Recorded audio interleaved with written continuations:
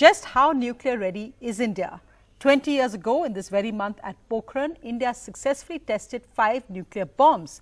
So, is the technology frozen at the 1998 level or has India's nuclear bomb capability progressed further? Speaking exclusively to NDTV Science editor Pallav Bagla, the chairman of the Defence Research and Development Organisation, Dr. S. Christopher, asserts we are ready to undertake nuclear tests at short notice and that our capability has increased tremendously. India has a nuclear doctrine that enunciates that there will be no first use of nuclear weapons by India, but in case an adversary does strike India with atomic weapons, then New Delhi will exercise the right to give an answer with a punishing second strike.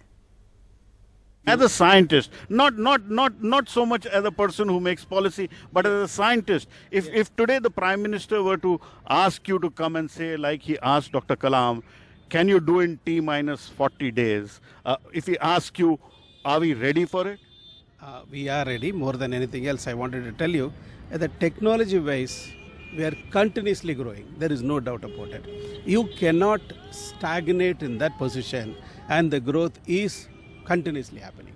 So, so uh, without testing, we are able to make more capable atom and hydrogen bombs. Everything in this uh, R&D you cannot test. Like for instance, before uh, sending the mission to the moon, we are not doing the testing of somebody going at least partly every other day.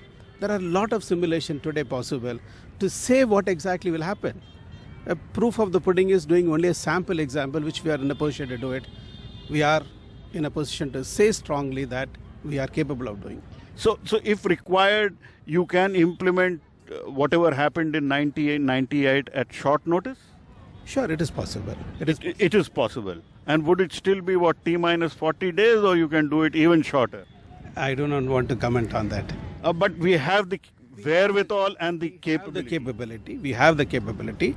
And notwithstanding that, it is not only the nuclear part of it. There are so many other paraphernalias are there. Those are also parallelly to be improved.